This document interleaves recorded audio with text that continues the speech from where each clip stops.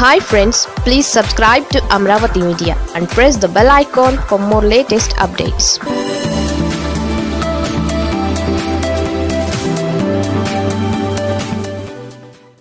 జగన్లో sudden change. ఆ ఇద్దరి ఎఫెక్టేనా సీఎం జగన్లో సడన్ చేంజ్. ఎక్కడ నెగ్గాలో కాదు ఎక్కడ తగ్గాలో తెలిసిన వారిదే విజయం. ఇప్పుడు సీఎం జగన్ ఫాలో అవుతున్న ఫార్ములా ఇదే. రెండున్నరేళ్ళు తన మాటే శాసనం అనే తరహాలో నిర్ణయాల అమలుకు అడుగులు వేశారు. అనేక అంశాలలో కోర్టు నుంచి ఎదురు దెబ్బలు తగిలాయి. అనూహ్య మెజారిటీతో అధికారంలోకి వచ్చిన జగన్ తీసుకున్న కొన్ని నిర్ణయాలను ఇప్పుడు దిద్దుబాటు చేస్తున్నారు. రెండున్నరేళ్ళ పాలన తరువాత సీఎం తన నిర్ణయాలను మార్చుకోవడానికి ఏమాత్రం భేషజాలకు పోవడం లేదు. మూడు రాజధానుల నుంచి మద్యం పాలసీ దాకా అనేక నిర్ణయాలలో దిద్దుబాటు చర్యలు ప్రారంభించారు. అయితే సీఎంలో ఈ మార్పుకు కారణమేంటన్న చర్చ మొదలైంది. గత నెలలో కేంద్ర హోంశాఖ మంత్రి అమిత్ షా తిరుపతిలో సదరన్ రీజనల్ కౌన్సిల్ సమావేశానికి వచ్చారు. ఆ సమావేశంలో జగన్ సైతం పాల్గొన్నారు. ఆ తర్వాత వరుసగా సీఎం ఈ దిద్దుబాటు నిర్ణయాలు అమలు చేస్తున్నారు. అందులో కీలకమైన మూడు రాజధానుల బిల్లు జగన్ ప్రభుత్వం వెనక్కి తీసుకోవడం పైన పెద్ద ఎత్తున చర్చ సాగింది. అయితే ఆ నిర్ణయం తాత్కాలికమేనని మెరుగైన బిల్లులతో ముందుకు వస్తామంటూ సీఎం నాడు సభలో ప్రకటించారు. సాంకేతిక కారణాలతో బిల్లులకు అడ్డంకులని ప్రభుత్వం చెబుతున్నా బిల్లులు పాస్ చేసే సమయంలోనే ఆ చర్చ జరిగినా నాడు పట్టించుకోలేదు. ఇక కేంద్రంలో ప్రధాని రైతు చట్టాలను వెనక తీసుకోవడం ఇక్కడ సీఎం మూడు రాజధానుల బిల్లు వెనక తీసుకోవడం వెనుక తిరుపతి మీట్ ఎఫెక్ట్ ఉందనే ప్రచారం సాగుతోంది.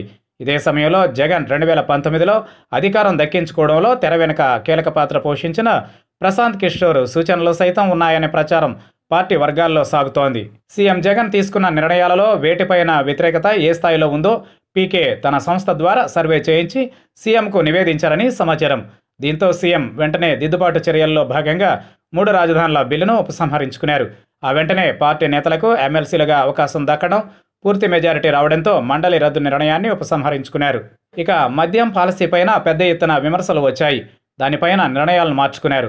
గతంలో దొరికిన పాత బ్రాండ్లకు తిరిగి అవకాశం ఇవ్వడంతో పాటుగా మద్యం ధరలను తగ్గించారు.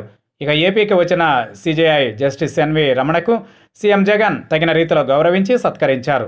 ఇక ఏపీకి వచ్చిన సిజేఐ జస్టిస్ ఎన్వి రమణను సీఎం జగన్ తగిన రీతిలో గౌరవించి సత్కరించారు.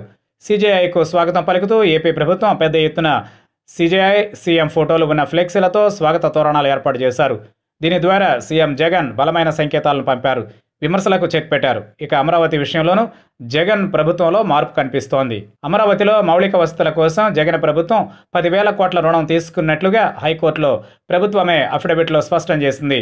ప్రస్తుతం హైకోర్టు ఉన్న అమరావతి గ్రామం నేలపాడులోనే హైకోర్టు ఎక్స్టెన్షన్ భవనానికి నిర్ణయం తీసుకున్నారు. ఇక ఇప్పుడు ప్రభుత్వం పార్టీలో కీలక మార్పుల దిశగా అడుగులు వేస్తున్నారు. దీంతో politics are dynamic not constant అనేది ఇక్కడ స్పష్టమవుతోంది.